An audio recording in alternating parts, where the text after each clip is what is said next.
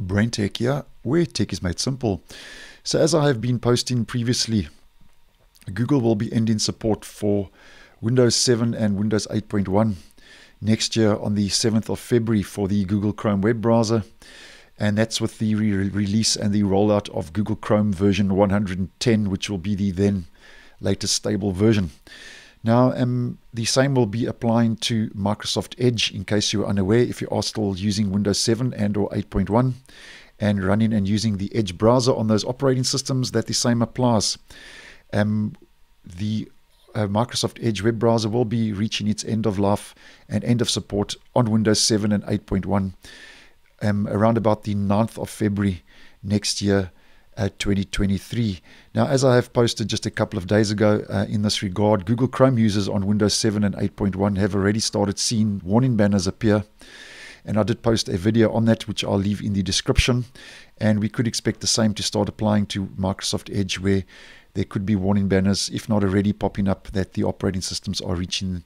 um, the end of life and that Edge will no longer um, be supported. Now, um, if we take a look at the release schedule for both um, Google Chrome and Microsoft Edge, um, currently for Microsoft Edge, um, the latest dev channel build, uh, which is uh, dev build 110.0.1543.0, which is a preview version of the browser. Um, this latest um, dev release for Microsoft Edge is now only available to Windows 10 and 11 users, which means when the stable version rolls out,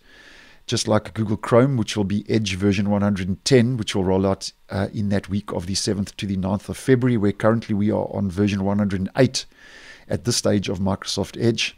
So if we just head to the calendar and we head to February next year, so Google Chrome will be ending support on Windows 7 and 8.1 on the 7th of February, as mentioned. And then we are expecting the then stable release of Edge version 110 to roll out on the 9th which means then that from the 9th, around about the 9th in that same week, uh, Microsoft Edge version 110 will be the last stable release um, that will roll out to Windows 7 and 8.1, which means after that the browser will be unsupported and would have reached its end of life on those two operating systems. So if you are still using Google Chrome and or Microsoft Edge on Windows 7 and 8.1,